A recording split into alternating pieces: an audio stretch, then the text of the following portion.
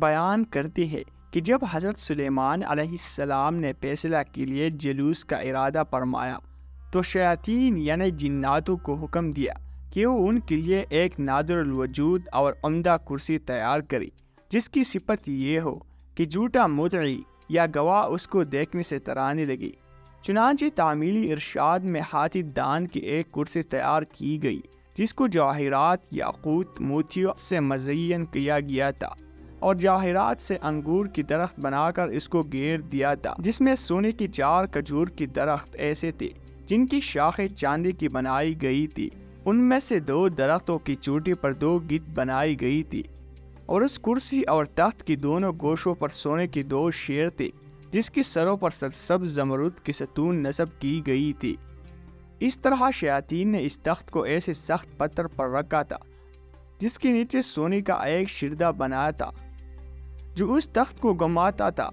चुनाचे जब हज़रत सुलेमान अलैहिस्सलाम उसके नीचे की दर्जा पर चलते थे तो वो कुर्सी और तख्त अपनी इस तमाम सामान के साथ जो इससे मुतालिक था, चक्की की तरह गर्दश में आ जाता था और गिद्ध और मोर अपने बाजों पिलाते थे। ने शेर अपने हाथ पिलाकर दमों को ज़मीन पर मारने लगते थे।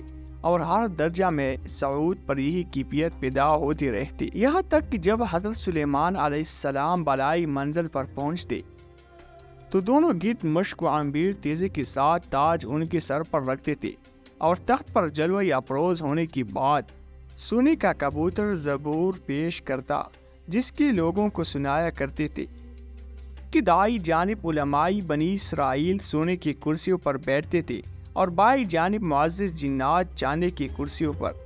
इस तरह हज़रत सुलेमान आसमाम फैसला के लिए जलूस फरमाते थे और जब किसी मामला की शहादत के लिए गवाह आते तो कुर्सी माँ अपने सामान की गर्दिश में आ जाती थी। और शेर गिद और ताउस अपने मस्कूर काम में मशगूल हो जाते थे। ये देखकर गवाहों पर एक ऐसी हिबत तारे होती और सच व हक के सिवा कोई झूठी शहादत न दे सकती थी। पर जब हज़रत सुलेमान सलाम का इंतकाल हुआ तो उस कुर्सी को शाह बख्ती नसर ने अपने कब्जे में ले लिया।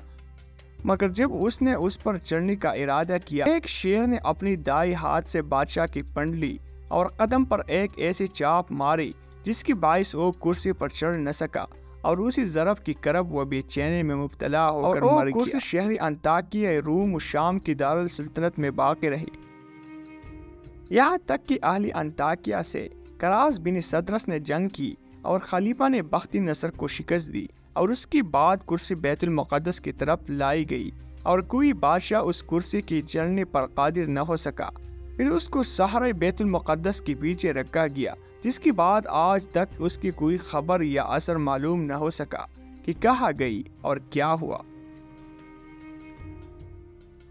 इस हिकायत से हज़रत सुलेमान आसमाम के कुर्सी की वसत व हेबत व दबदबा और इंसाफ का पता चलता है और अल्लाह ताला की ज़ात और कुदरत पर ईमान मज़बूत होता है कि उसकी मखलूक में इस कदर रौब व दबदबा है तो ख़ुद खालिफ इस कदर कादिर मुतलक और रोब व दबदबा वाला होगा।